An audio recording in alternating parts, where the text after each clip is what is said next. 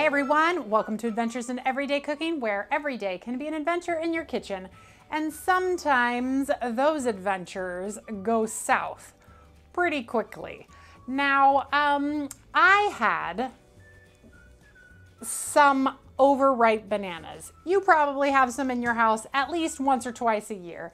And usually when I have overripe bananas, I put them in the freezer and uh, use them for treats later.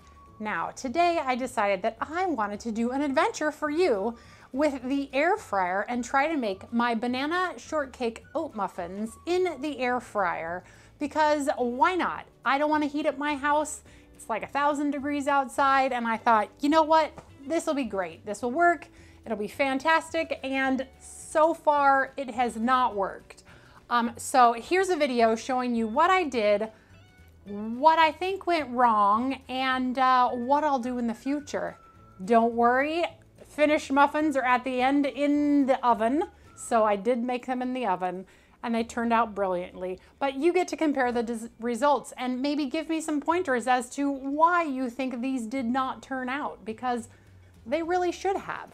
And uh, I'm actually at a loss that the air fryer can't do it all.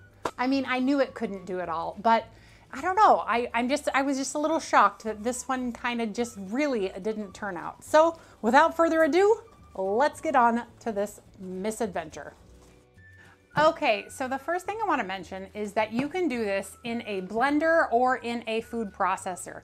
You could also probably do it in a just mixing bowl of some sort, but you would have to use oat flour instead of oats, and you would have to measure out your oat flour um, by weight instead of measuring it by cup.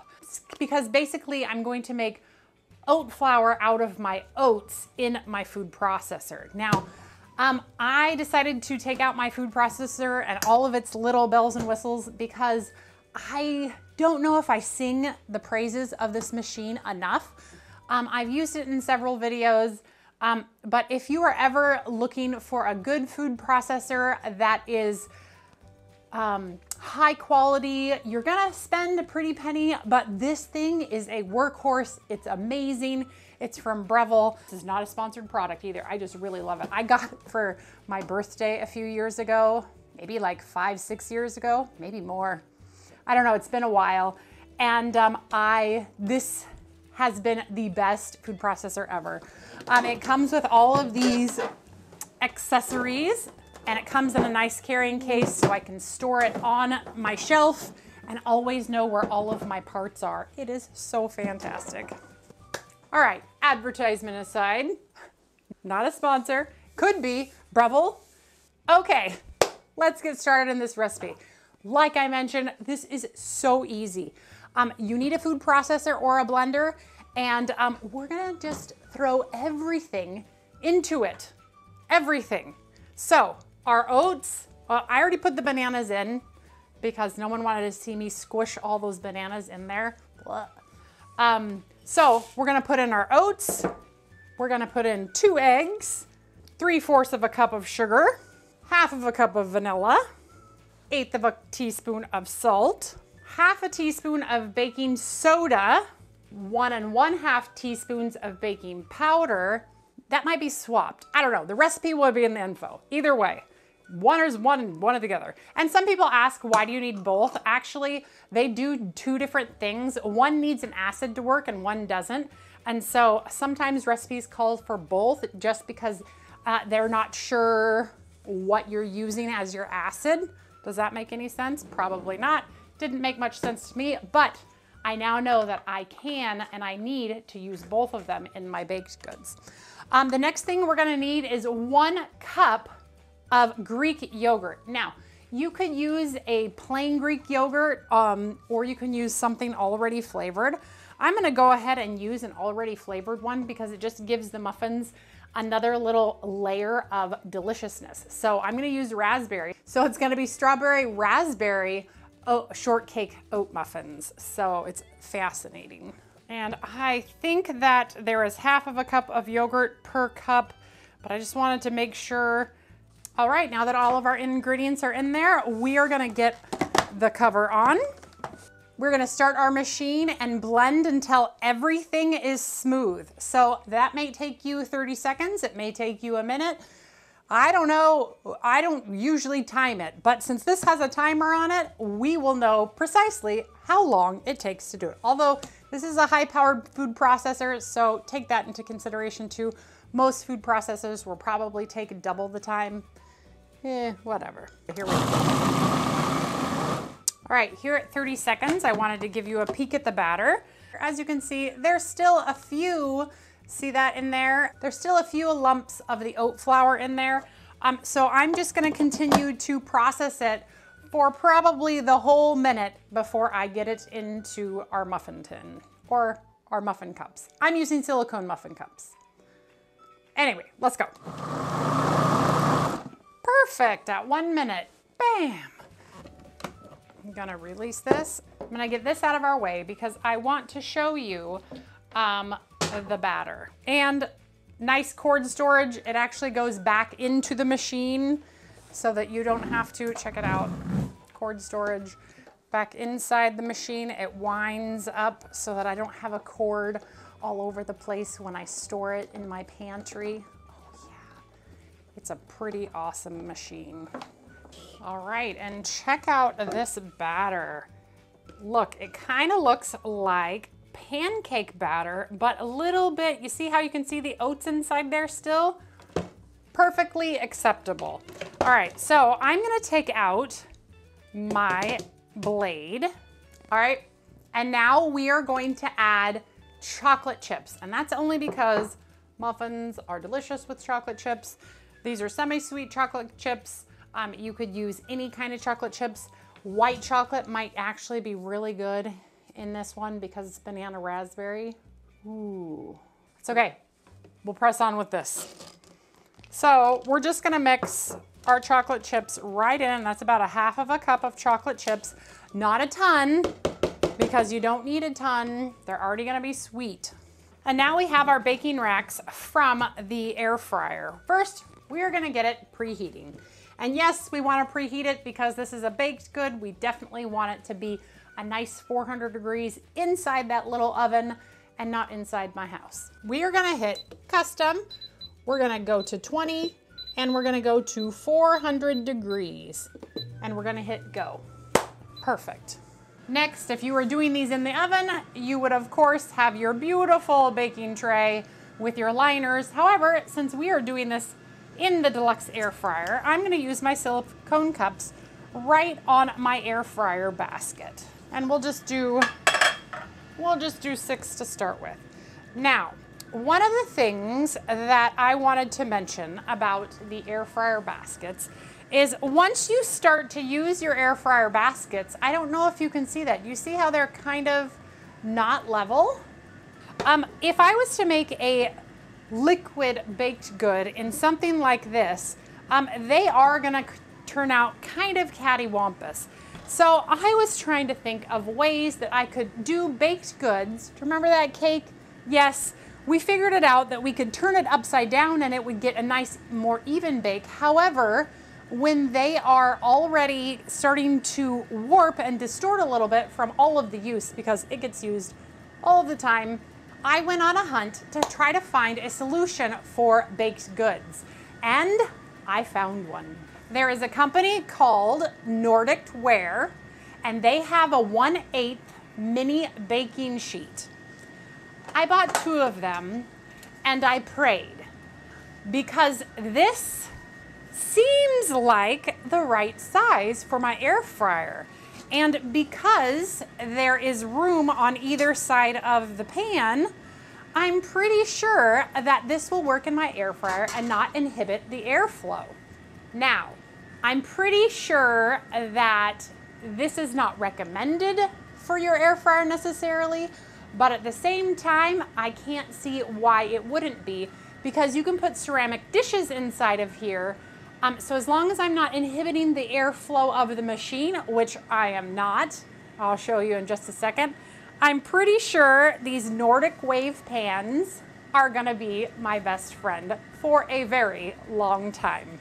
Because these trays I did a happy dance when I realized that these trays will fit in my air fryer and be perfect. Do you see that? Isn't that cool? Okay, let's take them out so we can fill them up first. So, that all being said, we are going to use our Nordic Ware tray to make sure that we have flat cupcakes. So cool. All right, so what do you do from here? Well, I'm so glad you asked because I don't know. You could get your little scooper from Pampered Chef and bring your cup to, And one scoop is perfect. So probably about three fourths full. That's probably perfect. And these are silicone baking cups. Um, I got them a few years ago and they have been phenomenal. I don't know if anybody else realizes this or not, but because we only used oats, this is actually a gluten-free muffin. Um, just by design. I mean, like, I don't know if it was made to be a gluten-free muffin or if it just happened to be that you're using oats instead of wheat. Um, yeah, I don't know. But I've had it for many years and probably pulled it out of a Better Homes and Gardens magazine or something. I, I don't know. It was written, it was handwritten one year. And instead of handwriting it, I put it on my drive and I've had it ever since. Okay, our first set of muffins are ready to go in. So we are gonna get these in the bottommost rack for 20 minutes. I'm actually going to check them at the 10 minute mark and decide if they need the whole 20 minutes because I've never done them in the air fryer. I always do them in the oven. So I'm gonna check them at 10 and we'll see how it goes. Goodbye, little muffins. All right, so I'm gonna go ahead and set this for 20 minutes so it will beep at me at 400 and go. All right, so I'm gonna go ahead and fill up the rest of these um, muffins and then uh, I'll be back to show you at 10 minutes what it looks like in the deluxe air fryer. How exciting, huh? All right, see you back here in like 10-ish minutes. So, since those are cooking way too fast, I am going to make an executive decision and this next set is going to go down in temperature. Um, I'm gonna change it to 350 for 20 minutes and at the end of 10 minutes, I will check back in again and show you the results. But I'm pretty sure at, I think these are done. I'm gonna check for doneness actually. Because I feel like those are awfully brown for only halfway. Look how brown they are. Well, they say they are done, but, mm, but I feel like that that is not the way that I want my muffin to look. Hmm. So let's try again. This time, let's take some advice from our deluxe air fryer. And um, let's let some of the 400 degree temperature out. We're gonna actually roll it down to bake and I'm gonna set it to 20 minutes and then we are gonna check it in the middle, just like we did for the other ones. So here we go, let's try it out. Good luck, little guys. Okay, see you back here in 10 minutes and hopefully we'll have better results. Otherwise, maybe you can't do this in the air fryer. I mean, I don't know. I don't know. We'll be back in like 10 minutes or so. I mean, well, okay. So these guys are really hot. So obviously they're not, but they didn't rise. But they look good. I don't know. Woo! We're gonna taste them anyway. See how they, see how they taste. Hmm. They're not done. they're good, but they're not done. All right, we'll be back in 10 minutes-ish. Okay, they look much better at 350 after 10 minutes. Um, I'm gonna give them about another five minutes before I check their doneness. And then we're actually going to get another one in on the tray to see if maybe the tray is what's skewing the results a little. I don't know. I mean, I, maybe it's just not meant for baking baked goods. I don't know. All right, well, we'll be back here again when there's something new to report. See ya. Okay, I just checked them and they look like they are done. Again, they don't look ideal. I'm, I, I'm a little disappointed. And we are going to try on the rack, in there, see if we get a different result. If we don't, then I gotta think of something else. So we'll put it right in, set it for bake for 20 minutes and go. Okay, well, we'll see you back here when those are ready to come out and hopefully we'll have good results and maybe the pan just isn't very good for baked goods or maybe the air fryer isn't that good for baked goods. Ooh. Another thing my air fryer can't do, oh, the travesty, broken hearted. Okay, these ones have just come out and they look they look identical to the others. Um, check it out. They, they look like they're from the same batch. So, can the air fryer do muffins? I, I, I, I don't think so. I'm, I'm literally at a loss. They didn't rise um, unless my baking powder or my baking soda was expired, but I just made cakes recently. Remember the wedding cakes? Yeah, I mean, that was the same baking soda, baking powder. I don't know. Like, I'm gonna cook some up. Hmm, I didn't want to turn on my oven. Oh, but now I'm gonna have to. For the sake of science, I need to know if my recipe was bad or if it just can't happen in the air fryer. This is a hard one, very hard. Because some of what I think is going wrong here is that the tops are cooking way too quickly um, which is preventing them from rising and then they're getting this burst over the top.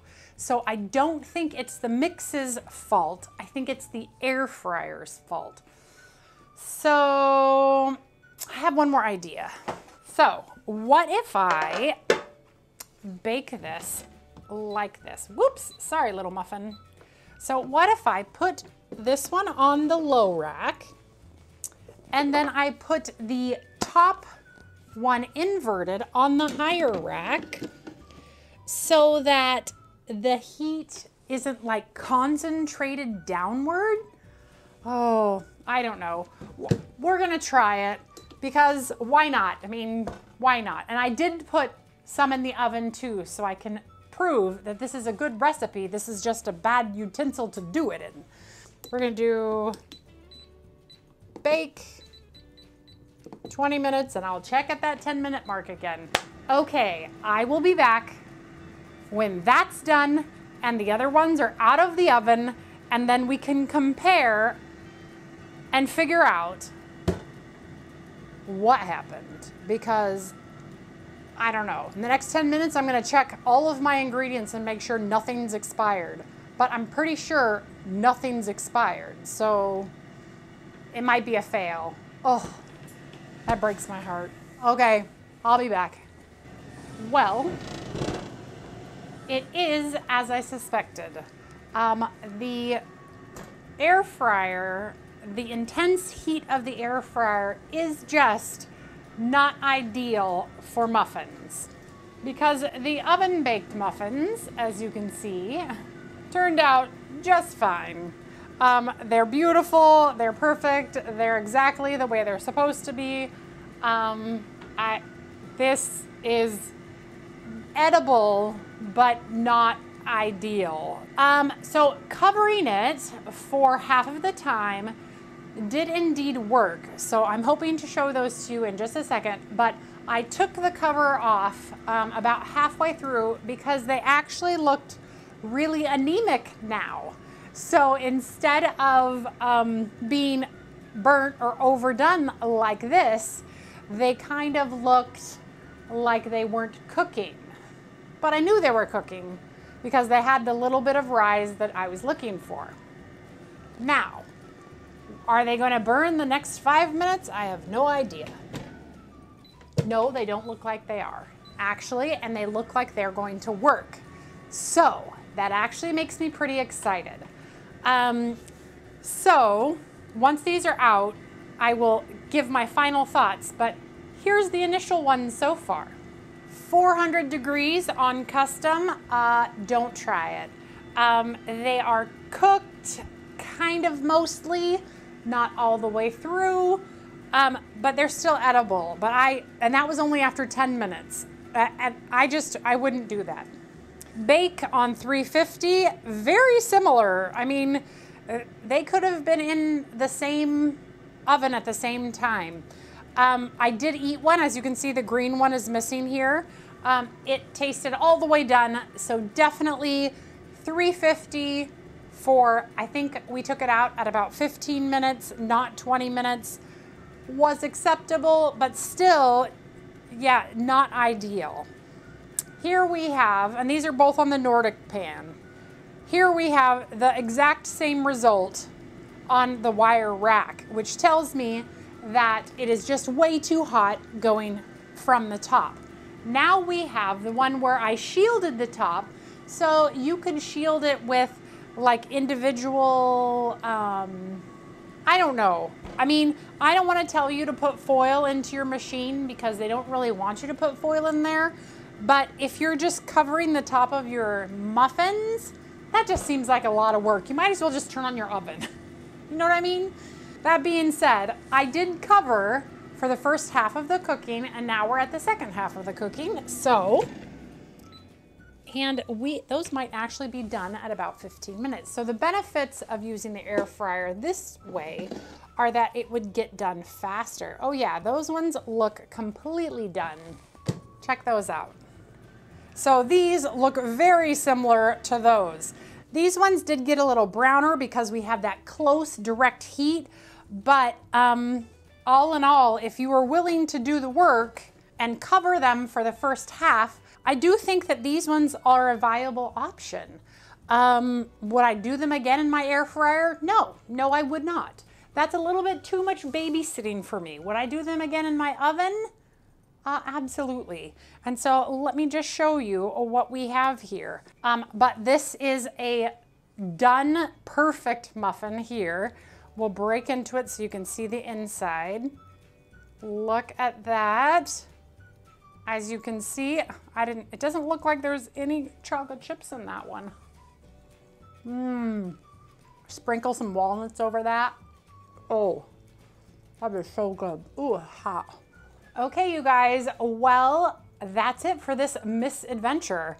Um, I hope you learned a lot. I know I did, and I'm gonna bring this knowledge into my next adventure and hopefully never make a mess up like this again. I mean, it's not a mess up. We learned a lot, so maybe it's fine. It's fine. It's just hard. It's hard to do a whole video and have it not turn out. I mean, I have four very acceptable ones, and then I have ones that are not. So until the next time, you guys, I hope you adventure in your kitchen and yours turns out way better than mine. See you later. Bye.